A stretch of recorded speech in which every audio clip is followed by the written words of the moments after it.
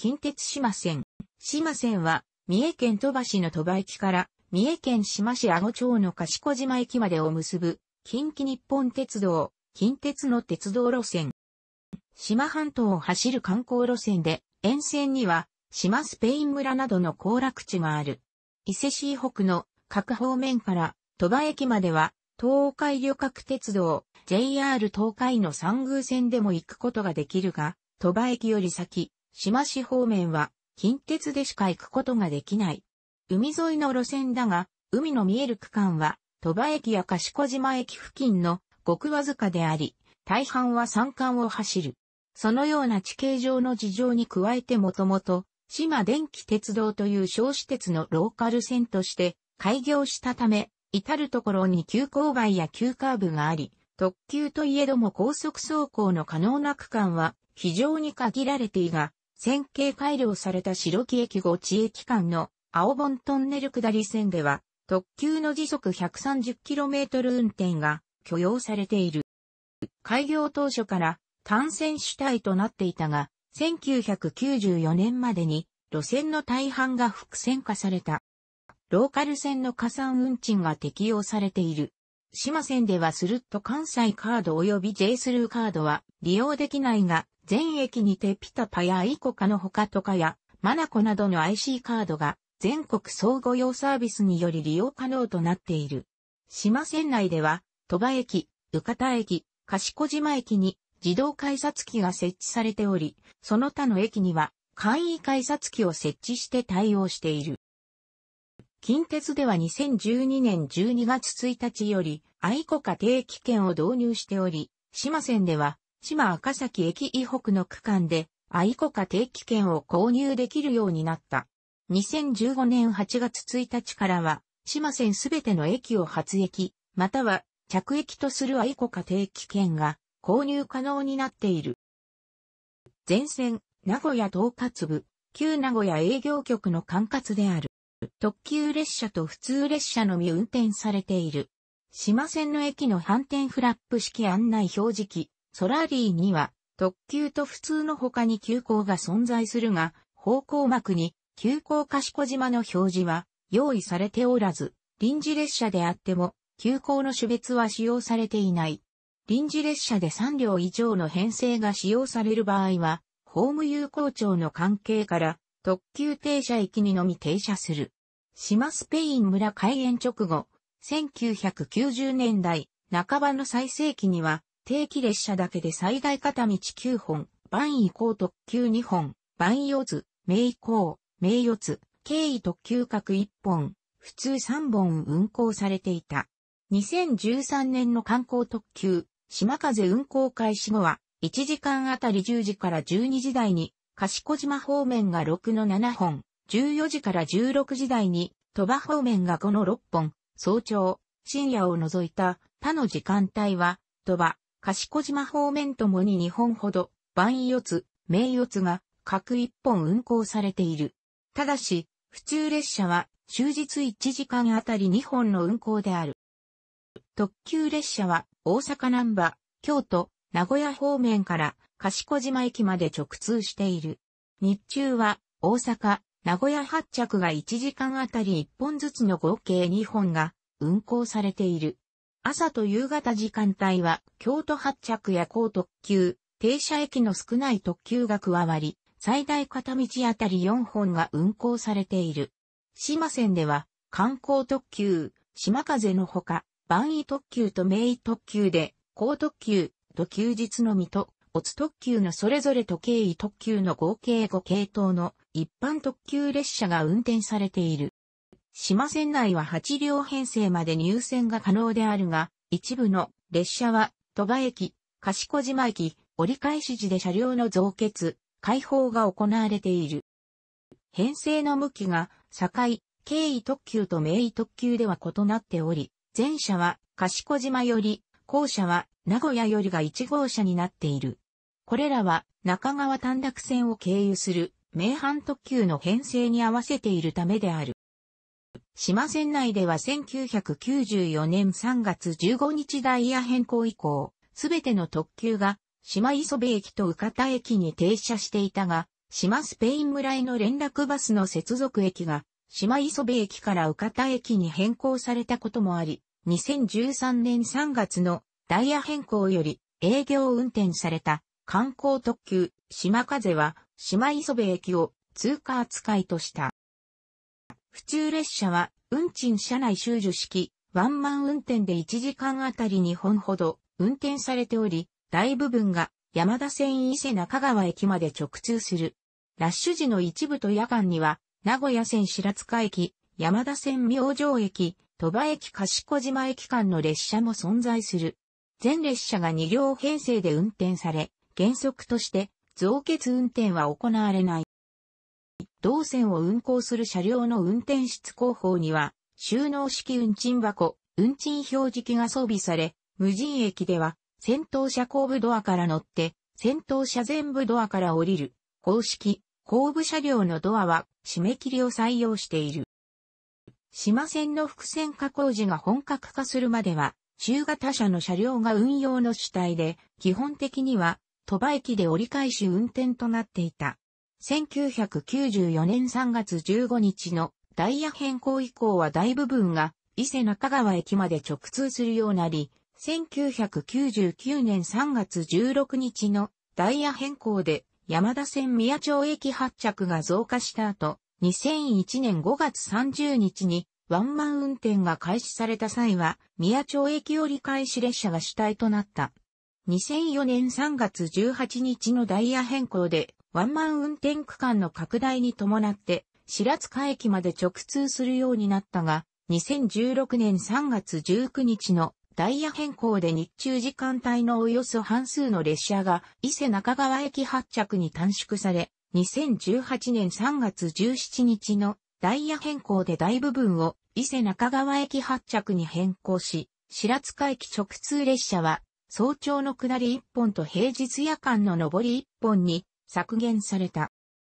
2013年10月に開催される第62回伊勢神宮式年遷宮に合わせ、2013年10月5日から山田線伊勢市駅賢島駅にて運転されている観光列車。と休日の日中に往復のみ運転されており、島線内では鳥羽駅と宇方駅に停車している。車両は専用形式の2013系が充当される。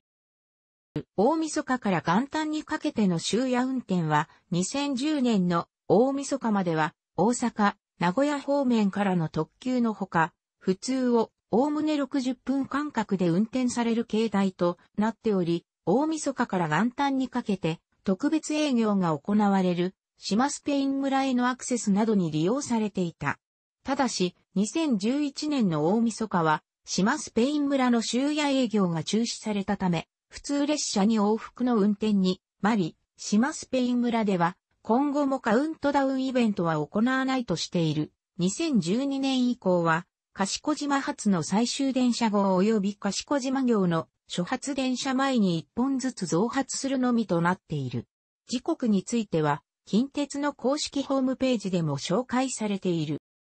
普通列車は全列車が2両編成、ワンマム運転であるため、前述の収納式運賃箱、運賃表示器を装備する改造を施した以下の形式が使用されている。車両面では臨時列車や観光列車都度用除けばすべて、そもそも即回生ブレーキを装備した境、自直波制御車か VVVF インバータ車であることが特徴で、大半の車両に車椅子スペースが設けられ、一部の VVVF インバータ車にはバリアフリー改造も行われた車両で運用されている。改め記後は、名古屋線と車両が共通化された。改め記後も末端区間に当たるため、ワンマン化されるまでは、名古屋線所属車両が多く使用され、も1450系、1460系、680系といった黎明期の高性能車も、島線で終焉を遂げた。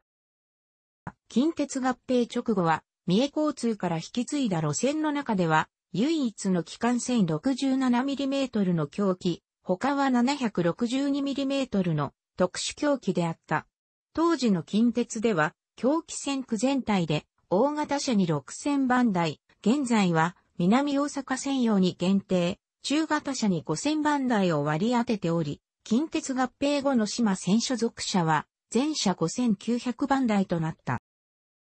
狂気時代の全車における共通点として、パンタグラフは、賢島駅側、三重交通時代から設置した行き先方向板は、進行方向左、運転席の前、電動車は、両運転台で制御車は、片運転台などの点が挙げられ、標準機に改め記されるまで、近鉄島線としての運用期間は5年弱であり、増備車や廃車も存在しなかった。当時の所属総数は10両のみであった。改め記号状態の良い車両は、座席については、クロスシートのまま、モーターと運転台を撤去して付随車化され、養老線、現在の養老鉄道に転属して1983年まで使用された。養老線未転属車、転属車ともすべて廃車、解体され、現存しない。明治中頃までは、奥、島、原島市から北方への陸路は、徒歩での大阪峠、現三重県道32号伊勢磯部線越えが利用されていたが、1911年、明治44年に三宮線が鳥羽駅まで延伸されてからは、地峠を越え、鳥羽から鉄道を利用されるようになった。複数の事業者により、鳥羽から奥島への鉄道敷設が計画がされたものの、関東大震災の後の経済不況などで計画は実現しなかった。1923年、大正12年8月、宇方村の森本角也が中心となり、電気鉄道敷設を出願。1924年、大正13年には敷設の許可を得た。